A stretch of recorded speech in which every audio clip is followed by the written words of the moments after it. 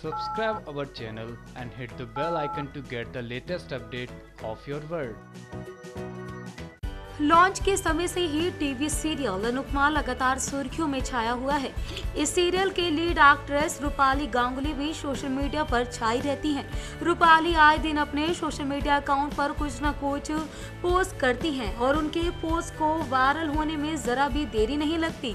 अब एक्ट्रेस ने अपने भतीजे संग एक वीडियो शेयर किया है, जिसमें उनका एक दोस्त भी नज़र आ रहा है। इस वीडियो के ज़रिए रूपाली गांगुली ने सोशल मीडिया पर वायरल हो रही हैं। श्रीलंकन गाने पर ठुमका लगाया है। आपको रूपाली गांगुली का ये वीडियो कैसा लगा, हमें कमेंट बॉक्स में ज़रूर बताइएगा।